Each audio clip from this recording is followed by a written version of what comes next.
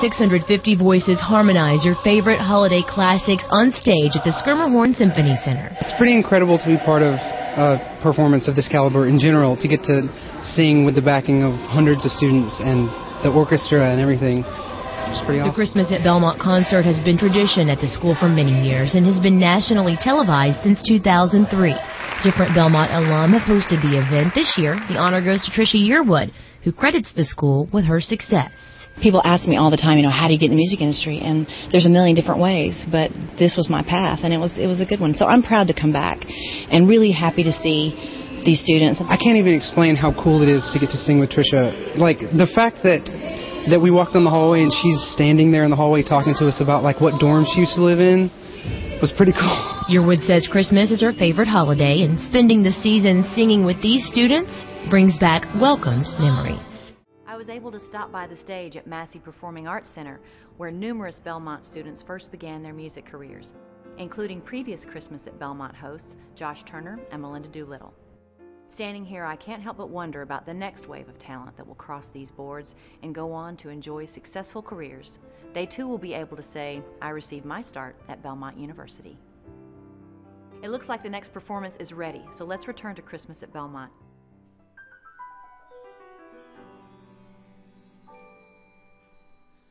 God rest ye merry gentlemen, let nothing you dismay. Remember Christ our Savior was born on Christmas Day to save us all from Satan's power when we were gone astray. Oh, tidings of comfort and joy, comfort and joy. Oh, tidings of comfort and joy.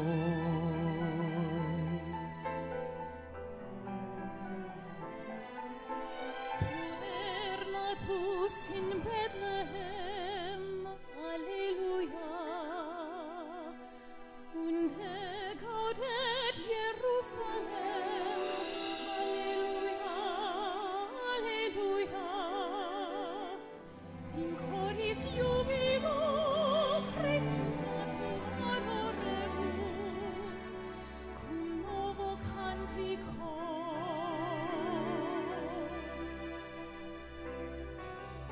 From God our Heavenly Father, a blessed angel came,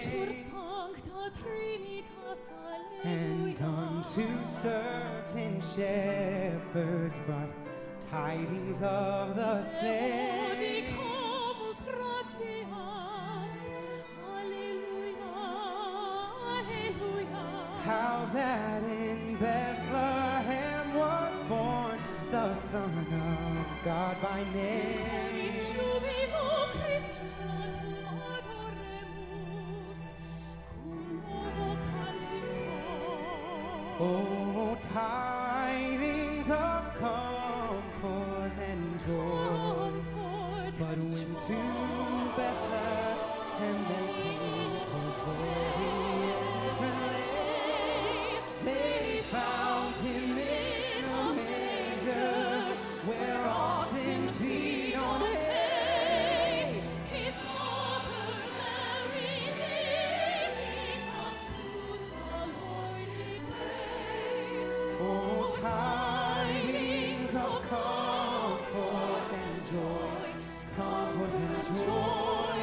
Oh, tidings of comfort and joy. Now to the Lord sing praises, all you within this place, and with true love and brotherhood, each other now embrace. This